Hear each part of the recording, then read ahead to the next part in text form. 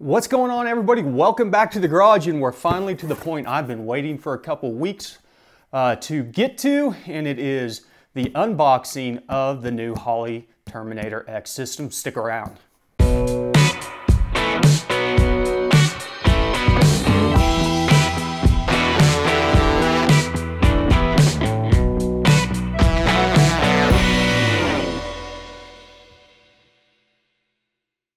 Everybody, welcome back to the garage. And as always, I want to thank all the new subscribers out there. Thank everybody that's doing the comments, throwing the likes out there, watching the videos, sharing it. Remember, you can always share uh, our YouTube homepage just by going to www.tuning101.com. And if you are new to the channel, I suggest you go and check out the playlist. There's a lot of tuning content out there.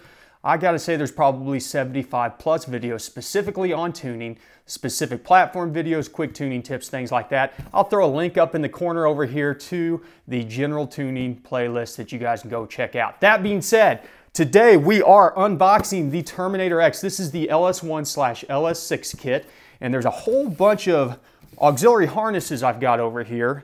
And we'll get into those as we need to. There's a specific reason to have all these auxiliary harnesses. That's because they don't make this thing for a uh, Northstar. If you can imagine that, why wouldn't they make it? Come on now. Nobody makes anything for a Northstar. But that being said, whenever it came down to selecting a Terminator X, I ended up going with the LS6 variant because the injectors are the same. So those are uh, eight plugs that are already built into the harness that I don't have to redo. All these other harnesses down here are specifically uh, to adapt sensors that are already on the car. Uh, so there is uh, these are for the ignition, so these are going to go to our two ignition banks. And so we're basically going to cut off the connectors that are on there now, put these on there, which are the LS6 style. That will made up to this harness. Uh, then we've got a uh, throttle because it uses the six pin style throttle. And then we've got the old uh, style connectors on here. Actually, that's probably backwards. I'm guessing that we'll be connecting these into the harness and then rewiring this one into our harness connector, our, our drive-by-wire throttle connector, which we have right here. So we can adapt that over. Uh, we've got a crankshaft sensor extension in case I need it. Can work for the camshaft also, just in case. And then we've got the knock sensor conversion to go from two wires down to single wire style knock sensors because the harness in here is going to be a single wire. That all being said, let's go ahead, let's open this thing up. I've got the overhead camera here so you guys can kind of follow along.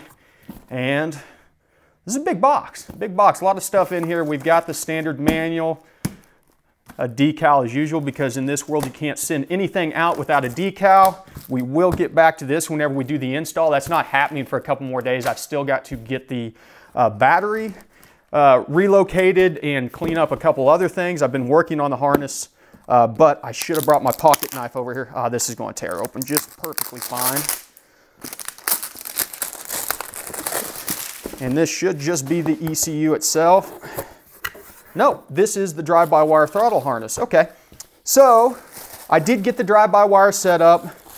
This does have the connectors like I thought that it would have on there. Okay, so I see what it is. One of them is the uh, pedal connector, so this will go in. The pedals are basically the same on almost all GM platforms except for some of the trucks maybe. So that's perfectly fine. Then we have the actual control for the uh, throttle body. So we'll set that aside. Now we have the main harness. This is the LS6. Man, this is a bundle of wires. Tell you what, I'm gonna set this down.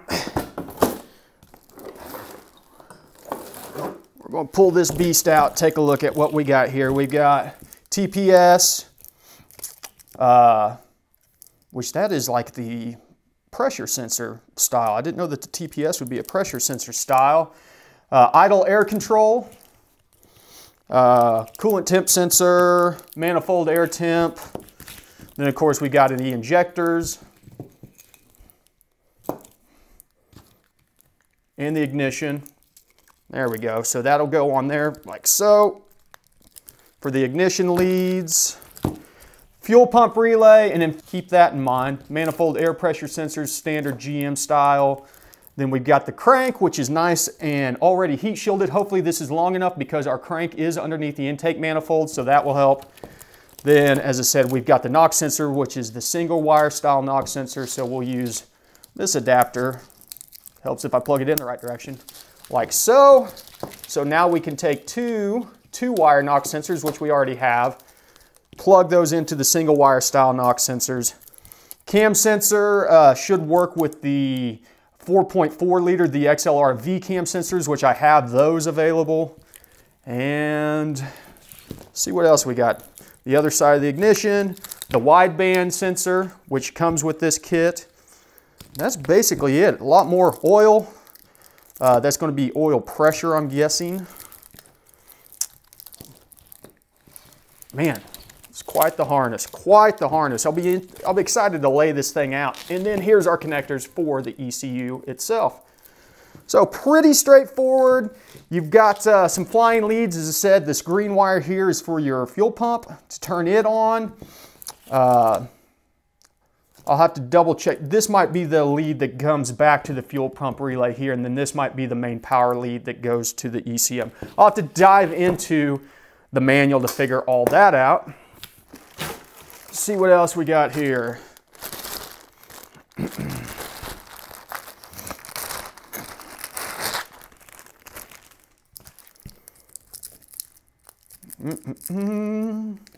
This looks like a main power harness because it's red and black and it's heavy gauged with a fuse on top of it. 40 amp fuse. That might make itself more apparent here in a bit. We have got the wideband O2 sensor, uh, LSU 4.9, pretty straightforward. Let's put that right there. We've got the injector pigtails with the EV6. This part, if you end up going to a different style injector, the nice thing about it is this plug on the back side of the injector pigtail is going to be uh, universal to the harness. That's the way they make it a little bit easier on themselves to be able to swap through all the different injectors throughout the different years on this. So somewhere on this thing, there is an injector plug, but we'll worry about, oh, there it is right there. So it just plugs in like that. Then we've got two injector leads to go out directly onto our injectors. This is going to be the optional harness. So these are DOs, uh, DIs, digital outputs, digital inputs analogs, pulse width, modulation. So you've got eight total. I believe you got four in, four out, and some of them are user selectable. I'm not sure if all of them are user selectable or not. We'll get into that, especially whenever we end up throwing nitrous on this because we will be using the nitrous program that is within the ECM. And what have we got here? Once again, a little harness, no clue what it does. I'm sure we'll figure it out. And I got the unit that does not have the touch touchscreen display. It saves you about 250, 300 bucks around there. And instead, it comes with the USB adapter to run the software, which I've got a video on the Terminator X software. I'll throw a link up in the corner for that one for kind of setting up the base tune. There will be more videos on that very soon as we get into actually programming everything. Uh, then we've got a, an O2 bung to weld on if we want to, which we're not going to need to, and then some, looks like some vacuum nipples of some sort on there. And then of course, we have the unit itself. Hopefully I can open this up without a knife. There we go. Open sesame. Oh, helps if you open it the right direction. Nice bubble wrapping on here, and look at this beauty. Okay.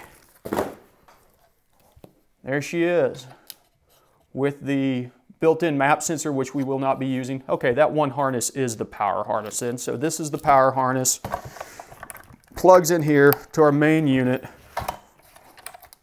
This one, I believe you trigger directly off the battery and then you should have a ignition signal off of one of these other wires in here. Pretty straightforward, pretty nice package. I wanna say it was $900 for the LS1, LS6 package without the display on there. Uh, we've got Another $40 in auxiliary harnesses. I'm a little bit worried that I'm going to have to figure out something else on my th throttle body. It should work because all of the stuff is the same, but I might have to get a different harness or I have the factory harness. The whole purpose of doing these jumper harnesses like this is so I do not have to hack up the factory or the uh, Holley's harness because I want to keep this thing intact for whenever we go in and do an, uh, an engine swap. If we do an LS swap of some sort, I would like to keep this thing in pieces as much as possible. And, uh, and a lot of these adapter harnesses will carry over, specifically things like the uh, knock sensors, uh, you know, the injections will already work, and then hopefully our ignition sensor, our, our ignition harnesses, you know, we can use a standard ignition harness with an LS style uh, coil packs. So that's basically it. Not a whole lot to it. We'll see how easy this thing lays out in a future video, how easy it is to get to all of the sensor locations because they're a little bit different on the Northstar, obviously.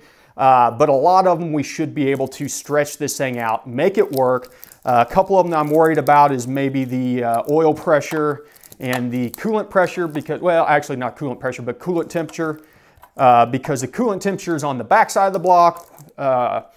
The oil pressure is on the driver's side. And then there's another one that's on the passenger side. I can't remember which one that one is. So uh, and then we'll have to figure out, as I said, how to make the throttle position and the IAC end up working with this. I'll have to do some more research on that to figure out what's going on there.